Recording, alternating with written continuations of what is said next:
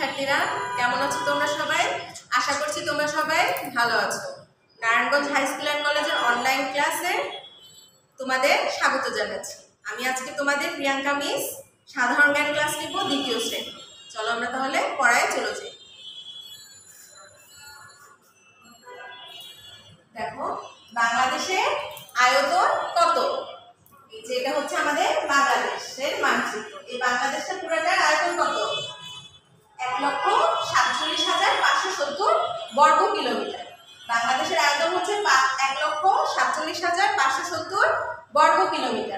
গণপ্রজাতন্ত্রী বাংলাদেশের সাংবিধানিক প্রধানকে রাষ্ট্রপতি।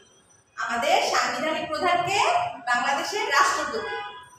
বাংলাদেশের সর্বদক্ষিণের বিভাগ কোনটি? বাংলাদেশের সর্বদক্ষিণের বিভাগ কোনটি? চট্টগ্রাম। চট্টগ্রাম হচ্ছে আমাদের সর্বদক্ষিণের বিভাগ।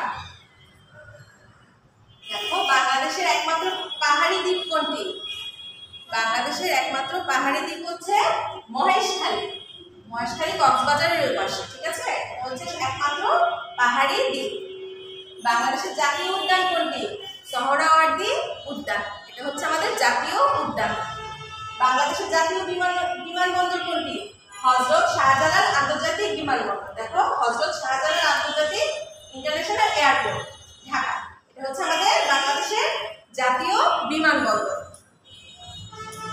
উর্দুকে পাকিস্তানের একমাত্র রাষ্ট্রভাষা ঘোষণা করা হয় কত সালে উর্দুকে পাকিস্তানের একমাত্র রাষ্ট্রভাষা ঘোষণা করা হয় উনিশশো আটচল্লিশ সালে তখন আমাদের কি রাষ্ট্রভাষা ছিল উর্দু কিন্তু উনিশশো সালে আমাদের ভাষা শহীদরা সালাম জব্বার বরকত প্রমুখ যারা আছে তারা আমাদের ভাষার জন্য প্রাণ দিয়ে উনিশশো সালে আমরা কি তখন বাংলা আমাদের রাষ্ট্রভাষা হয়েছে দেখো উর্দুকে পাকিস্তানের একমাত্র রাষ্ট্রভাষা ঘোষণা করা হয় উনিশশো সালে। একুশে ফেব্রুয়ারিকে আন্তর্জাতিক মাতৃভাষা দিবস হিসেবে স্বীকৃতি দেওয়া হয় কত সালে? উনিশশো নিরানব্বই সালে। একমাত্র আমাদের দেশে কি ভাষার জন্য আমরা লড়াই করেছি? বাংলা ভাষার জন্য আমরা লড়াই করেছি এবং কি আমরা শহীদ হয়েছি। একুশে ফেব্রুয়ারিকে আন্তর্জাতিক মাতৃভাষা দিবস হিসেবে স্বীকৃতি দেওয়া হয় উনিশশো নিরানব্বই সালে। মানে আন্তর্জাতিক ভাষা হিসেবে স্বীকৃতি দেওয়া হয় উনিশশো নিরানব্বই সালে। স্বাধীন বাংলা বেতার কেন্দ্র স্থাপিত হয় কোথায়? চট্টগ্রামের কালুরঘাটে। বাংলাদেশ কত সালে স্বাধীনতা লাভ করে? উনিশশো সালের ষোলোই ডিসেম্বর। উনিশশো একাত্তর সালে কি আমরা মুক্তিযুদ্ধ করে তিরিশ লাখ মাই, মা বোনের রক্তের বিনিময়ে আমরা শহীদ হয়ে কি স্বাধীনতা অর্জন করেছি? উনিশশো সালের ষোলোই ডিসেম্বর। বাংলাদেশের প্রথম রাষ্ট্রপতি কে? বঙ্গবন্ধু শেখ মুজিবুর রহমান। সে হচ্ছে বাংলাদেশের প্রথম রাষ্ট্রপতি। বাংলাদেশের প্রথম নোবেল বিজয়ীকে ডক্টর মোহাম্মদ ইউনুস। ডক্টর মোহাম্মদ ইউনুস কি আমাদের দেশে প্রথম নোবেল অর্জন করেছে? নোবেল বিজয়ী। বাংলাদেশের শ্রেষ্ঠ কবিকে কাজী নজরুল ইসলাম। আমাদের জাতীয় কবিও কিন্তু কাজী নজরুল ইসলাম। চলচ্চিত্রকারকে জহির রায়হান জহির রায়হানের কথা না বললেই নয়, সে আমাদের শ্রেষ্ঠ চলচ্চিত্রকার। তার মতো চলচ্চিত্রকার আর হবে বলে আমরা মনে হয় না আমাদের দেশে। সে হচ্ছে কি? জহির সে হাজার বছর ধরে পদ্মা নদীর মাঝি। এই ধরনের উপন্যাস সিনেমা করে গিয়েছে, ঠিক আছে? বাংলাদেশের প্রথম সরি বাংলাদেশের বৃহত্তম প্রবাল দ্বীপ কোনটি? Saint Martin's. সেন্ট মার্টিনস হচ্ছে বাংলাদেশের বৃহত্তম প্রবাল দ্বীপ। বাংলাদেশের বৃহত্তম মসজিদ কোনটি? বাইতুল মোকাররম মসজিদ, ঢাকাতে। ঢাকাতে হচ্ছে বাংলাদেশের প্রথম বৃহত্তম মসজিদ, বাইতুল মোকাররম মসজিদ, ঢাকায়। বাংলাদেশের দীর্ঘতম রেলপথ কোনটি? ঢাকা পঞ্চগড় রেলপথ। ঢাকা পঞ্চগড় রেলপথ কি সবচেয়ে বৃহত্তম রেলপথ বাংলাদেশে? বাংলাদেশের দীর্ঘতম ঝুলন্ত সেতু কোনটি? রাঙামাটি ঝুলন্ত সেতু। দেখো, রাঙামাটি। রাঙামাটি তোমরা বেড়াতে গিয়েছো? রাঙামাটি অনেক সুন্দর একটা জায়গা। রাঙামাটি হচ্ছে সবচেয়ে দীর্ঘতম ঝুলন্ত সেতু। এই সেতুটা কিন্তু ঝুলন্ত সেতু। দেখো মানুষগুলো হাঁটছে।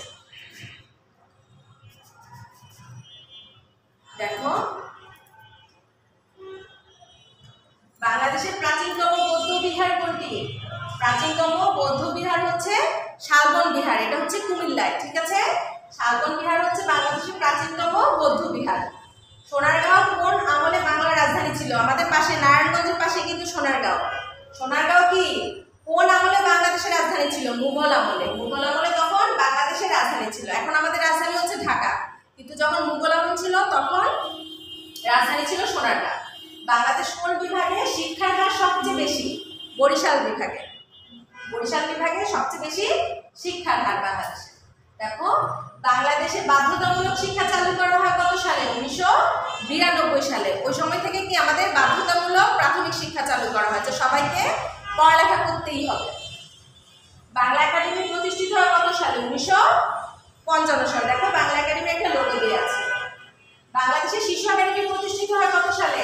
উনিশশো ছিয়াত্তর সালে। শিশু একাডেমি প্রতিষ্ঠিত হয় উনিশশো ছিয়াত্তর সালে। দেখো, সৌরজগতে সবচেয়ে উষ্ণ গ্রহ কোনটি? শুক্র। সৌরজগতে সবচেয়ে উষ্ণ গ্রহ কি? শুক্র। সূর্য, সূর্যের সবচেয়ে দূরবর্তী গ্রহ কোনটি? সূর্যের সবচেয়ে দূরবর্তী গ্রহ হচ্ছে নেপচুন ঠিক আছে? সবচেয়ে দূরের গ্রহ হচ্ছে নেপচুন নেপচুন হ্যাঁ ঠিক আছে। তারপর সাতাশ নাম্বার হচ্ছে সূর্য কি? সূর্য একটি নক্ষত্র। সূর্য হচ্ছে একটি নক্ষত্র।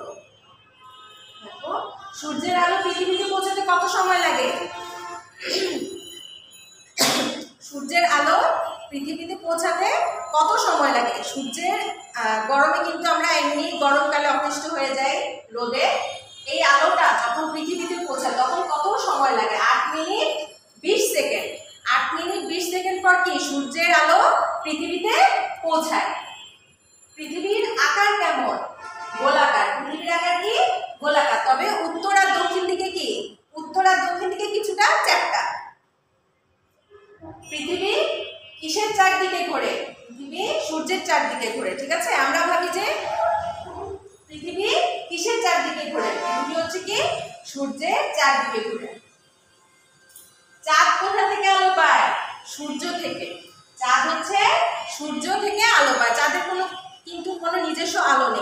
সূর্য থেকে আলো পায়। পৃথিবীর উচ্চতম স্থান কোনটি? এভারেস্ট পর্বত। দেখেছ? এভারেস্টের ছবিতে আছে। এটা হচ্ছে পৃথিবীর সবচেয়ে উচ্চতম স্থান। একটি পূর্ণাঙ্গ রংধনুর আকৃতি কেমন? একটি পূর্ণাঙ্গ রংধনুর আকৃতি হচ্ছে বৃত্তাকার। রংধনু সাধারণত আমরা বৃষ্টির পর দেখতে পাই। যখন আকাশটা একদম ক্লিয়ার হয়ে যায়, সূর্যের আলোতে, তখন আমরা প্রায়ই রংধনু দেখতে পাই বৃষ্টির পর। পূর্ণাঙ্গ রংধনুর আকৃতি হচ্ছে বৃত্তাকার। পৃথিবীর বৃহত্তম ম্যানগ্রোভ বন কোনটি? সুন্দরবন। সুন্দরবন হচ্ছে পৃথিবীর বৃহত্তম ম্যানগ্রোভ বন। সবচেয়ে উঁচু প্রাণী কোনটি? দেখো, জিরাফ। জিরাফ হচ্ছে সবচেয়ে উঁচু প্রাণী। পৃথিবীতে কত প্রজাতির পাখি আছে? দশ হাজার প্রজাতি। অনেক পাখি আছে, অনেক প্রজাতির পাখি আছে, দশ হাজার প্রজাতির পাখি আছে পৃথিবীতে, পুরা পৃথিবীতে। দেখো, পৃথিবীর বৃহত্তম পাখি কোনটি? পৃথিবীর বৃহত্তম পাখি হচ্ছে উট পাখি। পৃথিবীর বৃহত্তম পাখি হচ্ছে উট পাখি। পৃথিবীর বৃহত্তম সরীসৃপ কোনটি? কুমির। দেখো, এখানে একটা কুমির ছবি দেওয়া আছে। কোন মাছের কাটা থেকে নতুন মাছের কাটা জন্ম হয় তারা মাছে কোন মাছের কাঁটা বাহু থেকে নতুন মাছের কাঁটা জন্ম হয় তারা মাছে ঠিক আছে কোন প্রকার ফুসফুস নেই পিঁপড়া দেখো এখানে একটা পিঁপড়ার ছবি দেওয়া আছে পিঁপড়ার কোনো ফুসফুস নেই মানব দেহের কত ভাগ প্রাণী আমাদের আহ, দেহের কত ভাগ পানি সত্তর ভাগই আমাদের দেহের পানি ঠিক আছে? বাকি তিরিশ ভাগ এমনি। মানব দেহের কত ভাগ পানি সত্তর ভাগ কোন জলজ উদ্ভিদ দিয়ে কাগজ তৈরি করা হয়? কচুরিপানা। কচুরিপানা কি আমরা গ্রামের বাড়িতে দেখলে গেলে দেখতে পাই পুকুরে থাকে কচুরিপানা। কোন জলজ আহ, জলজ উদ্ভিদ দিয়ে কাগজ তৈরি করা হয় কচুরিপানা দেখো কোন ফুল ক্যান্সার রোগের চিকিৎসায় ব্যবহৃত হয় কোন ফুল ক্যান্সার রোগের চিকিৎসায় ব্যবহৃত হয় নয়নতারা ফুল নয়নতারা ফুল কি ক্যান্সার রোগের চিকিৎসায় ব্যবহৃত হয় কোন ফলে সবচেয়ে বেশি ভিটামিন সি থাকে আমলকিতে আমলকিতে সবচেয়ে বেশি ভিটামিন সি থাকে। আমলকি খেলে কিন্তু চুল পড়া কমে যায়। অনেক উপকার আমলকি খেলে। কোল, ফল খেলে দ্রুত দেহের দুর্বলতা দূর হয়। খেজুর, দেখো এখানে খেজুর ছবি দেওয়া আছে। দেরি যদি তুমি দুই তিনটা খেজুর খাও, তোমার কখনো দেহে দুর্বল, তোমার শরীরে কখনো দুর্বলতা অনুভব করবে না